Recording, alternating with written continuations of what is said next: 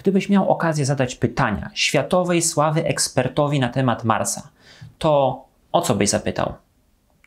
My pojechaliśmy po bandzie i zadaliśmy te największe i najciekawsze pytania dla każdego marsjańskiego nerda, czyli co z tym promieniowaniem w locie na Marsa? Co z terraformowaniem? Czy jest ono możliwe, czy nie? I w końcu, jak będzie wyglądała ludzka cywilizacja na Marsie? Odpowiedzi na te pytania tuż po intro. Zapraszam.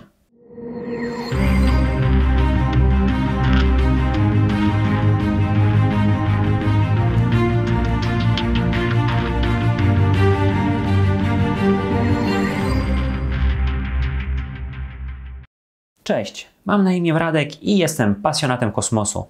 Na tym kanale opowiadam o ciekawostkach związanych z kosmosem i jego eksploracją oraz przeprowadzam wywiady z kosmicznymi ludźmi. Jeśli jesteś pierwszy raz tutaj, zasubskrybuj ten kanał, aby nie przegapić następnych wideo. Razem z Karoliną Gawlik z redakcji Win Space mieliśmy okazję porozmawiać z doktorem Robertem Zubrinem, inżynierem, twórcą Mars Direct, rewolucyjnego planu niskokosztowego lotu na Marsa, założycielem Mars Society i autorem książki Czas Marsa, wydanej w Polsce w 1997 roku, którą to zaczytywałem się z wypiekami na twarzy, będąc nastolatkiem. Z doktorem Robertem Zubrinem rozmawialiśmy w hali wystawowej podczas European Rover Challenge. Oto zapis naszej rozmowy dotyczącej Marsa.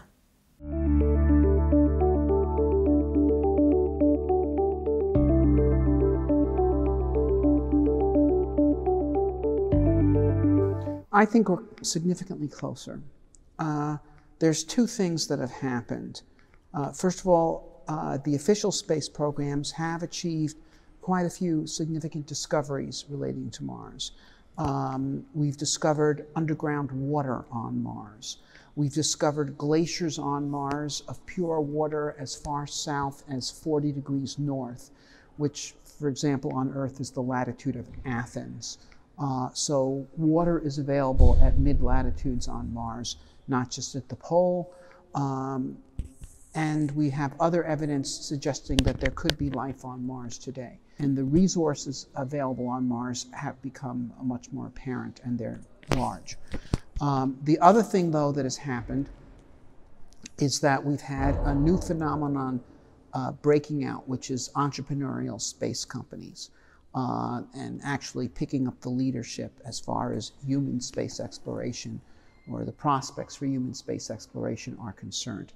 And uh, okay, the clear leader of the pack has been Elon Musk and SpaceX. Um, they have now shown that they can develop uh, new space systems, including big and important ones like heavy lift boosters, uh, projects that previously it was thought that only the governments of superpowers could do. They've shown they could do it um, in half the time at one tenth the cost had been previously assumed. And not only that, do things that major space agencies that have been around for 60 years have thought was impossible, such as flying the booster rocket back to the landing site and landing it. Um, so this is a breakthrough, and it has enormous repercussions. Um, that go way beyond SpaceX and even beyond the space program. Musk, he, he's a risk taker, and he wouldn't have gotten this far if he wasn't a risk taker.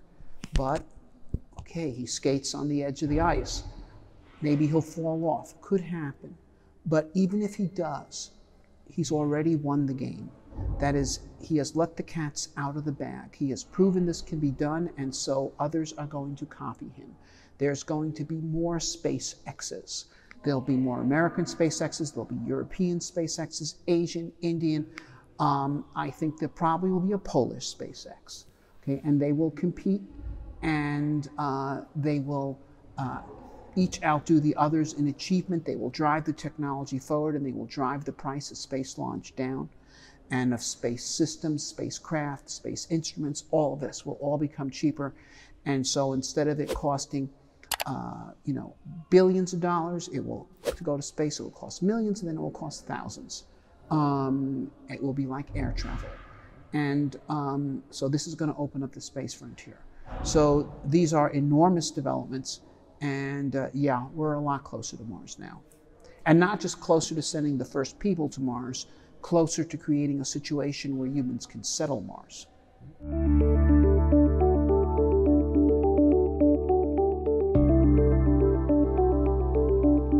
Uh, as far as zero gravity is concerned, you can fly to Mars in an artificial gravity spacecraft that works by spinning it, and it will create gravity and avoid the weakening. This is uh, much more important for settlers, for explorers than for settlers. An explorer who's going to Mars for a year, um, his time is precious. We don't want him wasting six months regaining his strength. For a settler, it's inconvenient to waste six months but it's not that as material. But either way, I support using artificial gravity as the way to prevent this weakening effect. Um, as far as radiation is concerned, um, the amount of radiation you would get in a round trip Mars mission is equal to about a 1% risk of getting cancer at some point later in your life, assuming that medicine does not advance beyond what it currently is.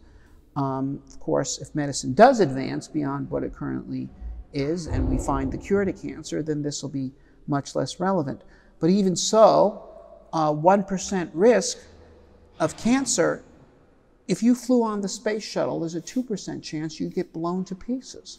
Um, and yet, if they offered you a chance to fly on the space shuttle, would you accept or would you refuse? I would accept.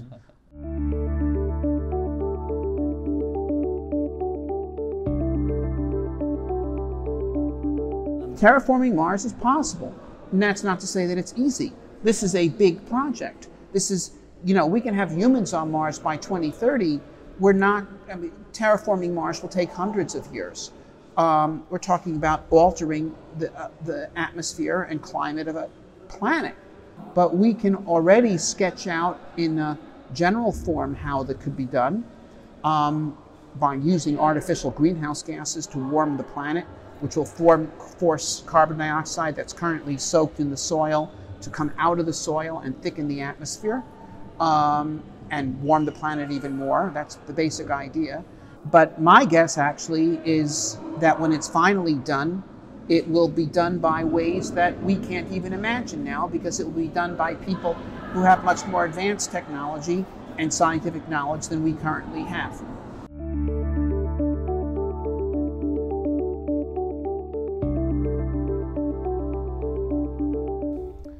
Uh, there may be life underground on Mars today.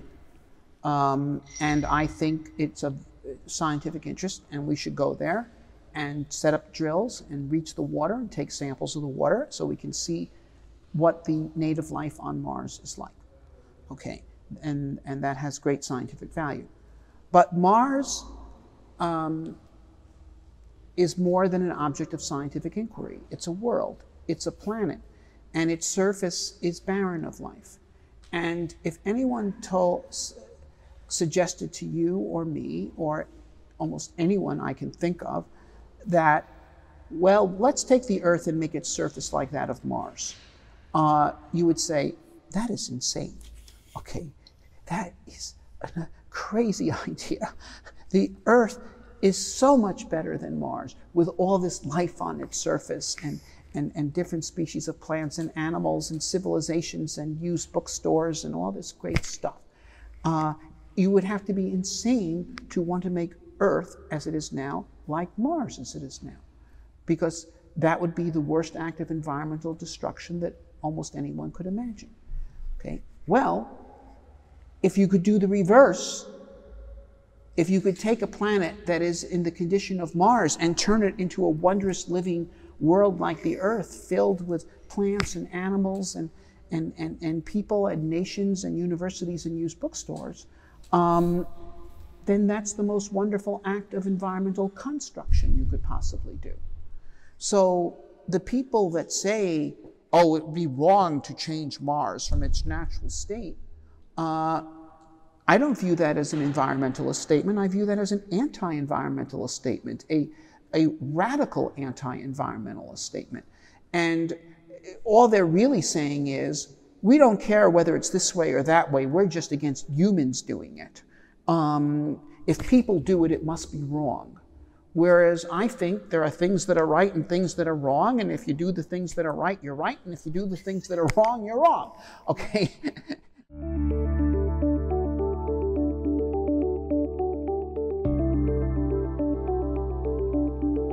we go to Mars, and if we do terraform Mars, we'll bring other kinds of animals and plants with us, uh, many different kinds, and they, however, will change once they're on Mars because it is a new environment.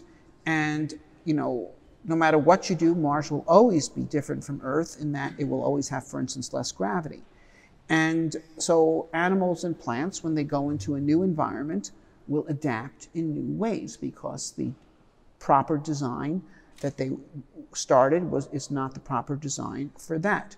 Okay, and this is how new species are created. Animals migrate into a colder climate, they get thicker fur humans migrated from Africa into Europe and we developed clothes. Uh, okay. Um, no, it's true. Uh, we developed a host of adaptations that allowed us to live in new environments. We also did change biologically uh, somewhat. I mean, Europeans are white because they left the high intensity sunlight of the tropics where you needed to have heavy pigment in the skin, and they came to a place where there was less, and so the adaptation changed.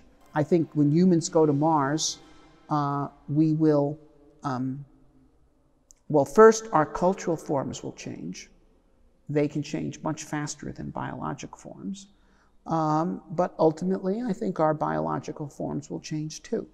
Uh, certainly, children born and raised on Mars will wonder why anyone ever would want to live on Earth, where the gravity is so heavy uh, I mean, this is ridiculous. Why live in this dump where you can't even jump five feet?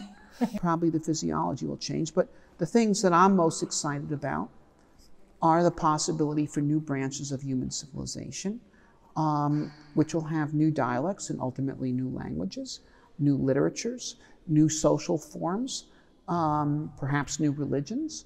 I don't believe that humanity today has exhausted all the possibilities of social thought.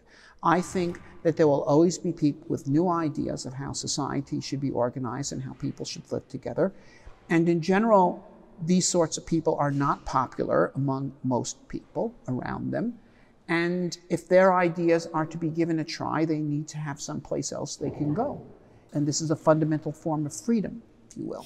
Now, so they'll go to Mars. And, and there won't just be one Martian civilization, there'll be dozens. Mars has got as much land as the whole Earth has land. Um, and some of these colonies will fail because some of these new ideas will be wrong. Okay? But some may be right. And, uh, and if they're demonstrated to be right, if they're demonstrated to give human beings more potential to uh, develop their talents, they'll succeed. And not only that, people will go there. People will emigrate there. People want to want to be part of this. And so those colonies will grow, they'll prosper, and they'll set an example for the rest of humanity. And, uh, you know, this is how America has functioned to a certain extent.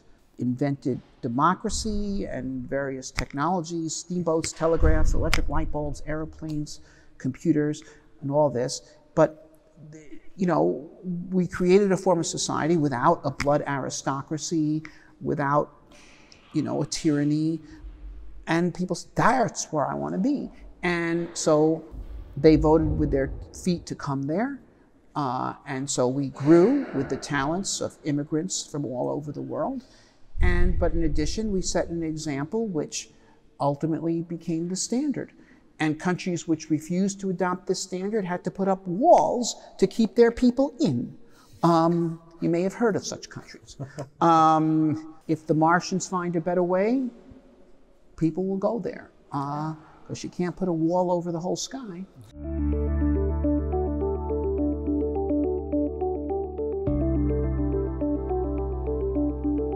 No, I think most of the people, all the people practically that go to Mars will be self motivated. Um, they may have different motivations. Some might go because of the chance to do something with their life of immortal significance, creating a new world for humanity. Others might go because the pay there is going to be higher. Okay, it will be because you're going to have a labor shortage on Mars, uh, and that implies higher pay. Um, You're also going to have, um, in certain kinds of freedom, less, okay, because of the nature of the physical environment, but in certain kinds, more, because you I mean, what is a Mars colony going to be? It's going to be a group of technologically skilled people in a frontier environment where they're going to be forced to innovate and free to innovate. They're going to have no patience for bureaucratic rules stopping them from making inventions that are necessary for their progress and survival. And so uh, it will be a pressure cooker for invention. I mean, if you're an artist, wouldn't you like to be in an artist colony? Uh, the, uh, I mean, maybe not all, but many would rather be in an artist colony among other artists and people who think that art is what life is all about than just living in a pleasant suburb somewhere. So, in any case, those who believe in it will go, those who want to do it A na koniec pytanie do Ciebie. Czy powinniśmy dokonać terraformacji Marsa? Daj znać koniecznie w komentarzu. Jeśli podobało Ci się to wideo, proszę o łapki w górę, e, zasubskrybuj ten kanał, aby nie przegapić następnych e, ciekawych materiałów o Marsie i nie tylko. E, kilka z nich podlinkowałem tutaj obok. Do zobaczenia, cześć!